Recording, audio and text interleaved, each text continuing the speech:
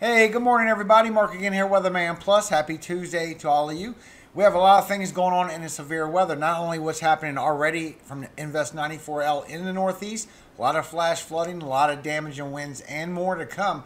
They have a lot of school closings now that wasn't closed before, so I have that information for you as well and they're getting rescues as well. They're in a state of emergency for New Jersey and New York. Then later tonight, the storm's to come to the south and the southeast, and it's going to bring some damage and winds and good chances for tornadoes. So if you've never been here before, make sure you hit that subscribe button. I am all year long. Remember, guys, all the links are in the description, so it can save you time or whatever part you want to see. Or if you want to see about the school closings or the other information, links are in the description. Hit the like button if you like the links. Thank you so much.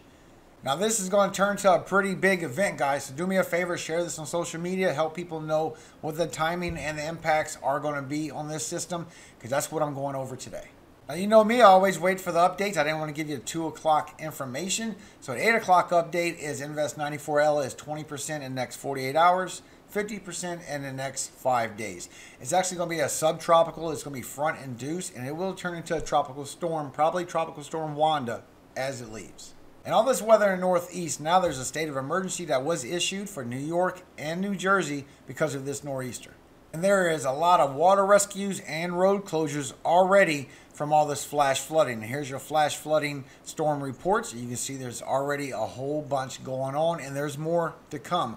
Plus, this next system that's going in south and southeast will be carrying to the northeast as well. Now, there's been a lot of updates as far as the schools and what's going on because of this big system.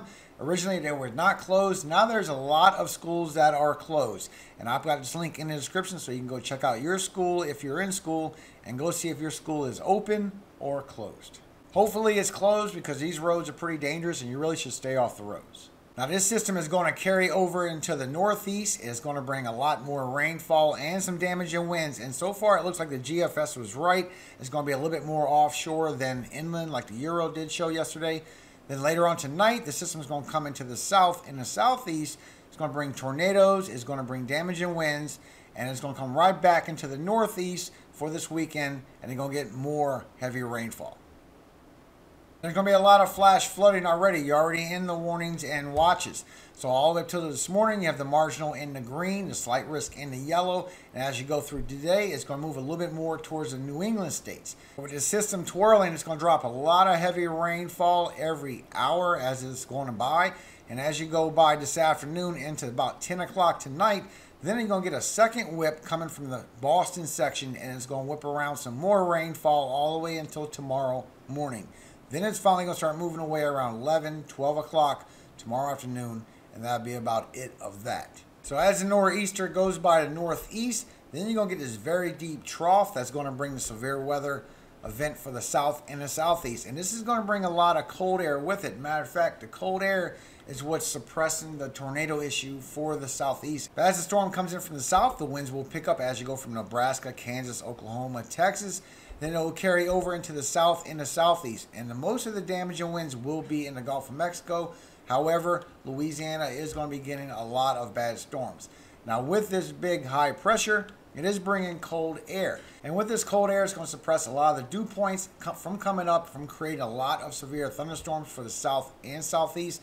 So actually, your tornado threat is going to weaken as it goes to the southeast. And most of the winds is still going to be offshore. You are going to feel it all the way up to Louisiana, maybe southern Mississippi. But the rest of y'all shouldn't feel too much. Maybe a little bit for northern Florida. And when you look at your dew points, you can see as all this meets up with the cold air coming down, it's going to get a big clash of very warm dew points, very cold air coming down, and this is going to start your severe weather event, and it's going to move to the southeast as it goes by. But you can see that all the clashing of the warm dew points, the cold air coming down. Now, as this gets by Texas and goes towards Louisiana, it's going to calm down a little bit, right around there for Louisiana and Mississippi, you're kind of losing the umph in the storm, and it's not going to be too much of a severe weather event. It will be along the Gulf Coast, but it just dew points are strong, and it will carry some storms over to the southeast as well. Now, your severe weather for today, you have the marginal in the green, a slight risk in the yellow, and your enhanced section in this brown. And you do have a good chance for tornadoes as well. 2% in the green, 5% in the brown, and you'll win. You have a chance for a significant win, especially in this black section, and significant hail as well. All this black section right here is a chance for significant hail. So you got to watch out for hail, winds, and tornadoes. But for your chances for tornadoes, this is your 2% and your 5%. This is your cities and your states. Now, as this carries over for tomorrow to the south and the southeast, you do have the marginal in the green, the slight risk in the yellow. You do have a chance for tornadoes for tomorrow as well. 2% in this green, 5% in this brown, and it is going to bring in some wind with it. But for your tornadoes for tomorrow, here's your cities and your states. Then as you go into Thursday, this is going to carry on over to the southeast, and now you got the southeast marginal and slight risk for severe weather. And it is a 15% chance for northern Florida, uh, the coast of North Carolina, and South Carolina. You'll have the biggest chance as this goes back up on that high ridge. Now, your tornado threat is going to grow at 1 and 2 p.m. today for the south.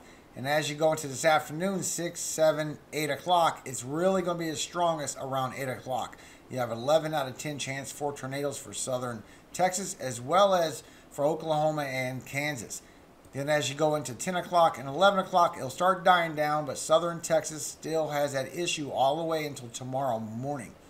8 o'clock, 10 o'clock in the morning tomorrow, it's going to start ramping back up for eastern Texas, and it will carry over from noon to 1 and 2 o'clock tomorrow afternoon for, for Louisiana. And then as it go into 4 and 5 o'clock, then you got a strong chance for either water spouts or tornadoes or water spouts coming on land as a tornado for Louisiana. You have almost a 12 out of 10 chance for 5 p.m. for tomorrow. This will carry over towards Mississippi and Alabama as you go until tomorrow night at 10 o'clock. It will be coastal only. It won't reach real far up the states because of the cold air keeping all the dew points down. As you go into Thursday morning, 2, 3 o'clock in the morning, it's going to carry across the panhandle for chances for tornadoes and here's a look with the southeast as you go into 3 and 4 o'clock in the morning on Thursday. It goes across the panhandle of Florida. Then as you go into noontime for Thursday, it's going to start bulking up for western side of Florida as all this passes over northern Florida. So as you go into 10, 11 o'clock tonight, then the rain is going to start adding up, especially for Oklahoma and Kansas. And as you go into tomorrow morning, then it's going to start affecting Texas and Oklahoma even more. Now, as you go into about 9, 10 o'clock, then it's going to be widespread across Texas all the way till noontime for eastern Texas. Once you get into tomorrow afternoon, 4 or 5 o'clock in the afternoon, it's going to start adding up even more for Louisiana. Then as you go into tomorrow night, then it's going to start moving from Louisiana over into Mississippi all the way till midnight. Then as you go into Thursday morning, it's going to affect more of Mississippi, going to Alabama and the panhandle of Florida. The rainfall will start dying off, not be as heavy, but you still got chances for tornadoes. And everything you see in the purple is 50 miles per hour wind gusts. And you can see the next three days, it does add up pretty strong for New Mexico, Colorado, Kansas, Texas, Oklahoma, Arkansas, and portions of Louisiana as well. But it starts dying off as it goes towards Mississippi because that cold air coming in, keeping them dew points down from you getting any storms. Even when you go five days, you see it don't build into anything. So the main threat is going to be Texas, Oklahoma, Kansas, Arkansas, and Louisiana. The only thing that's different is a NAM 3K is showing as all this goes by the south and the southeast, there could be chances for 40 and 50 miles per hour wind gusts going anywhere from Jackson, Mississippi, and north, northern Alabama, northern Georgia, and eastern Tennessee. That was the only thing that was different between the two models. And your wind gusts in the northeast is going to still continue and be pretty major. According to the Euro, you have 50s in all this orange, you have 60s in this red, and you have hurricane force wind gusts around the edge of Boston, Barnstable, right off the coast. So you need to be careful, especially on the coast. That's where the most fierce wind gusts will be. The GFS is showing pretty much the same thing. You're going to get high 60s for Long Island, but you still got the 60s and 70s that's going around the New England states, mostly by Boston and Barnstable. So it is trending on multiple models that you will be getting almost 70, if not 70 plus miles per hour wind gusts. Even the NAM 3K is showing the same information. All three models are showing you're going to get 40 miles per hour wind gusts all the way up till you get to New York and the New England states. It's going to turn into 50s and going to 60s, just like yesterday. The GFS was correct. It's going to turn into 60s and maybe low 70s along the coast. But an NAM 3K shows it's going to be anywhere from Altoona, Pennsylvania, and east. Also from Maryland, Delaware, Jersey, it's all going to be 40 with pockets of 50 miles per hour wind gusts. The worst of it is going to be from New York all the way to New England states. Definitely 40 and 50 miles per hour wind gusts, but the worst of it is still towards Boston, Barnstable, Rhode Island. Y'all going to be in the 60 miles per hour wind gusts with a chance for 70s along the coast. And in my experience, wherever there's at least 50 miles per hour wind gusts, you need to watch out because there's going to be chances for power outages.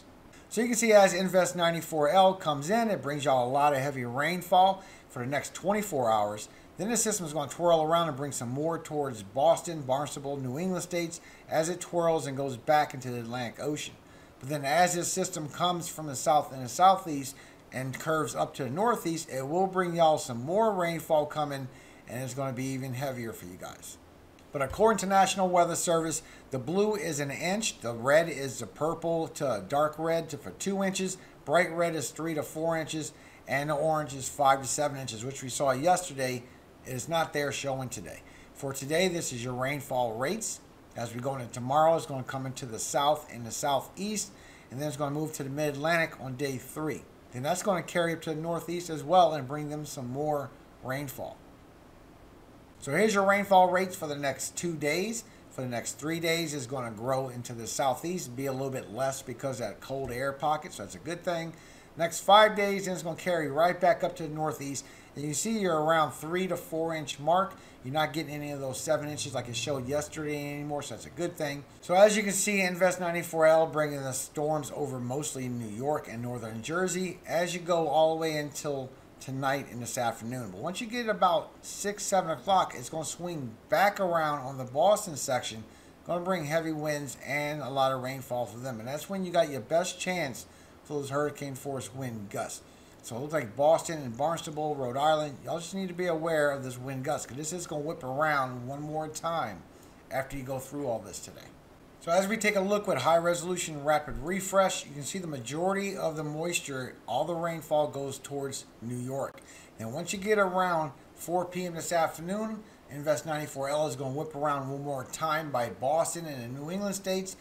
But it will be going around all afternoon long with that second whip of the rainfall and it will stay there all night long. And once you get about 4 5 o'clock in the morning, it's still bringing that heavy onshore flooding from the low pressure system. Then as Invest 94L moves away, so will the rainfall. And then while the Northeast is still getting the storm from Invest 94L around 9 o'clock tonight, that's when the setup is going to begin for the central U.S. and the South. And you're going to see it's going to stretch all the way down towards Texas. It's going to bring all this warm moisture, all these storms from this cold air meeting up with it all the way up to the central U.S. And this is all the way until 7 o'clock in the morning. Look at that big band of rain and storms that's going across Texas. And so far, it looks like it goes right over Dallas. Now, this will continue to carry over for Arkansas and Louisiana, but you can see at the same time that the front gets broken apart. It goes all the way towards Louisiana and Mississippi around 5 o'clock tomorrow afternoon, but the rest of it starts heading north. Then, as you go into tomorrow evening, you see it carries over to northern Mississippi with some rainfall all the way until midnight. Then it goes over to the southeast towards Florida and brings some more rainfall for them. You can see the big line of hail cores going all the way from Oklahoma all the way down to Texas. Then as you go until tomorrow morning and keep going, you can see all the hail cores that's coming with this system. This is going to bring a lot of damage and winds and chances for tornadoes. Look at that, hail cores all the way up. This is going to bring a lot of strong storms, guys. Then as you go to midnight from tonight, it's going to carry from Texas into Arkansas and Louisiana. You're going to get a lot of storms there. There's a lot of hail cores for you as well, especially by 4 p.m. tomorrow. You have it all down Arkansas. You got it all down Louisiana. There's a good chance for tornadoes, especially.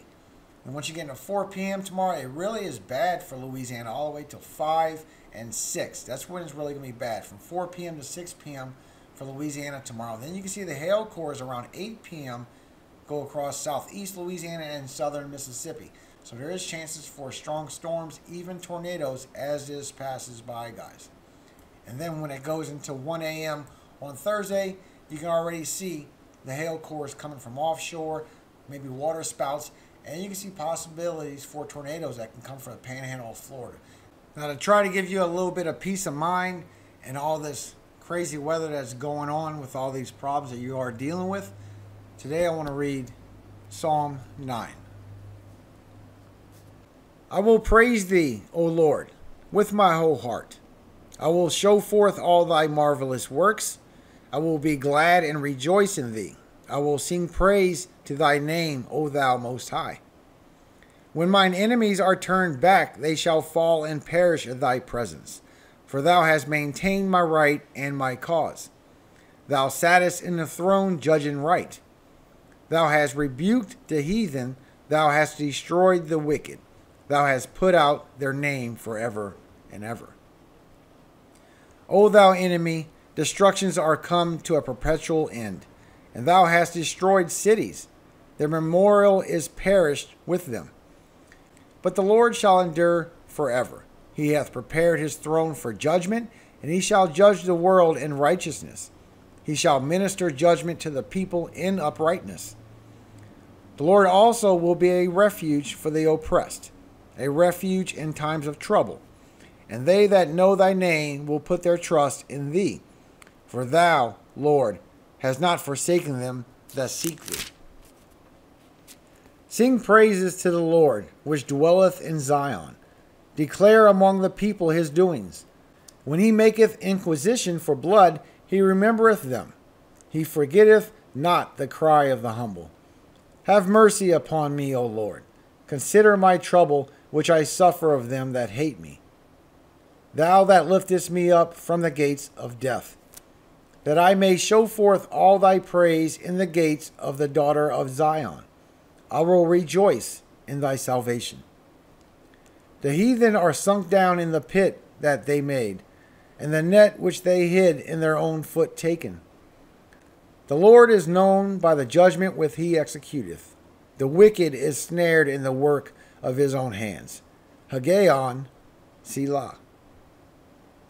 The wicked shall be turned into hell, and all the nations that forget God. For the needy shall not always be forgotten.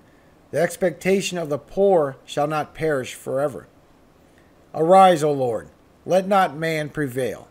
Let the heathen be judged in thy sight. Put them in fear, O Lord, that the nations may know themselves to be but men. Selah. Amen. Have a very blessed day today, guys. Please heed the warnings of this heavy rainfall and these potential tornadoes. It is going to be a severe weather event. Thank you so much for visiting my channel today. Hope you have a very blessed and a very happy Tuesday.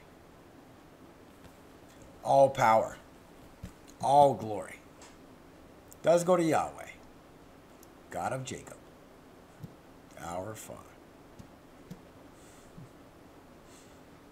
Amen. Hallelujah, guys. Have a very great day today.